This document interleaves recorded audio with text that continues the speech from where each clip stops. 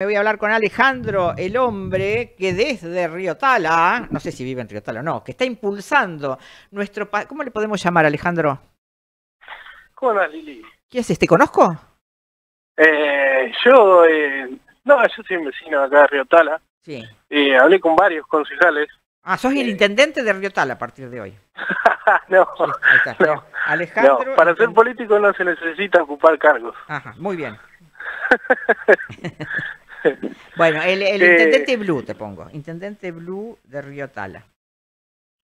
Bien. Eh, bueno, eh, la ruta que llega a los ríos, al tanto al arroyo del Tala como el arrecife, Sí, es la ex ruta 9 que cruza por enfrente de Prear, sí, sí, conozco perfecto que ahí. está completamente asfaltada, solamente tiene unos pozos y Ajá, se podría arreglar con dos monedas. Sí, sí. Y bueno, la intención mía era que Ah. a través de la Cámara de Viveristas y de los viveristas de San Pedro, que hagan donaciones de distintos árboles que sean eh, de la zona, sí. eh, Árboles autóctonos. claro, Los árboles podemos autóctonos. cultivar ahí en la agrotécnica. Yo ya le vengo diciendo a Araceli, Araceli, ¿por qué no hacemos especies autóctonas en el vivero de la agrotécnica? Y todo eso lo usamos Claro. para la forestación pública, porque Claro, también. que nos- eh, de paso aprenden los chicos a hacer vivero. Y lo, que- lo que pasa es que hay que ver, eh, yo por lo que hablé, eh, también es como que te dan a entender que toca intereses de San Pedro, que tenga un tipo un paseo público de Río Tala. ¿Cómo que va a tocar intereses de San Pedro si acá no tenemos ni un pedazo de costa ni para... Bueno, a ver, sigamos. Bueno. La semana pasada encontramos una viseña para pavimentar allá el Parque Mitre con el Fondo de Obras Públicas. Ahora te encontramos a vos para hacer un paseo público en Río Tala. A ver, vamos, vamos, vamos por paso. ¿Cómo lo hacemos? Eh, y la intención sería reforestarlo, Reforestar.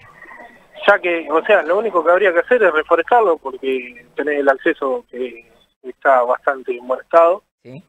Y bueno, después cada cual de los viveristas que haga donaciones podría poner su, eh, ponerle un sector, hacer un sector para cada uno de los donadores para que vendan lo, Pero Alejandro, ¿de qué espacio estamos hablando? Porque el sábado que viene por ahí podemos ir a recorrer y vos me decís, a mí me gustaría por acá, por allá, por el otro lado. y tiene un solo acceso, es la ex ruta 9. Eh, Sí, ya sé, pero toda, toda la ex Ruta 9 tomaríamos. Pasando, o sea, pasando Prear, Sí. Eh, Me encanta, me encanta porque tendríamos un, un lugar, aparte no, no tienen que venir por toda la 1001 hasta acá.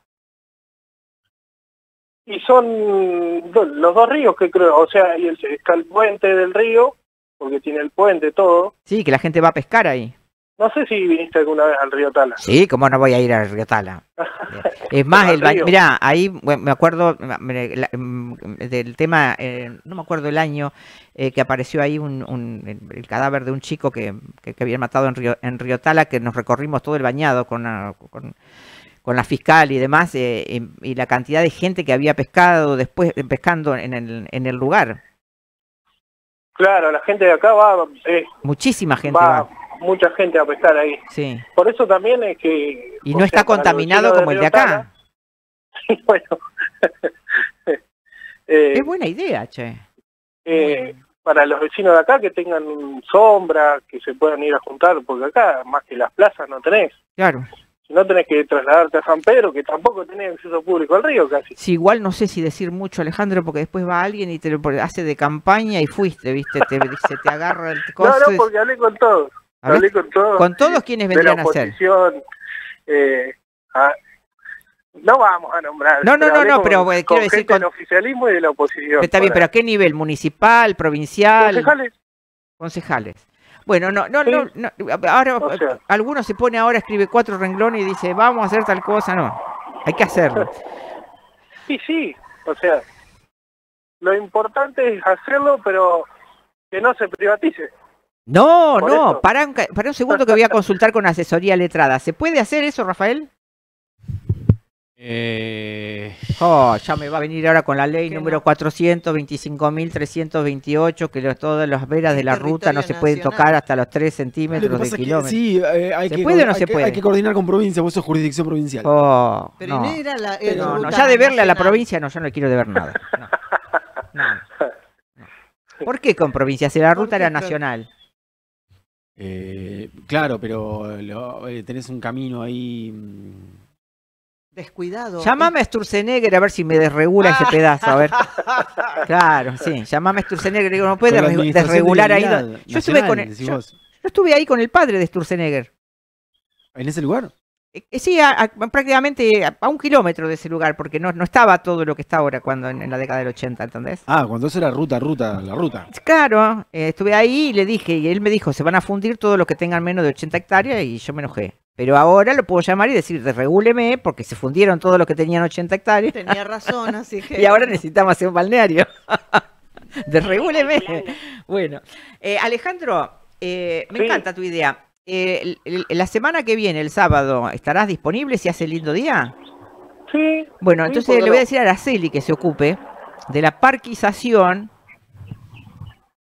reforestación de la vera de la Ruta 9 y le encargo acá a la asesoría letrada que eh, averigüe en la provincia y en la nación de quién es eso para que no nos vayan a venir a cancelar. No, es que la, la- lo que es la vera está es- tiene todo lo que es plantas de tala. Claro. Y basura. eh, Sí, sí, podemos o sea, hacer todo, todo, todo. habría todo. que verlo, pero está, está bueno. Sí, toda una idea. movida de puesta en valor. No me, no me llevas ningún militante, nada, ¿no? Por ahí. No, no, Ah, sí, no lo hago por política, lo hago No, por no, el no, por eso nada mismo. más. Yo también lo hago por amor al pueblo, nada más. Bien. Bueno, Alejandro, excelente idea. La semana que viene vamos. Dale, dale, Bueno, muchísimas bien. gracias. ¿Qué tal? En este programa que se llama Sembrando Ideas Locas, eh, andamos poniendo árboles, todas esas pavadas que hacemos nosotros y que le man- Cosa mantienen entretenidos. eh, Claro. te dice, vos te- me- me- como dice mi hijo menor, mamá, vos mientras te mantienen entretenida, ya está.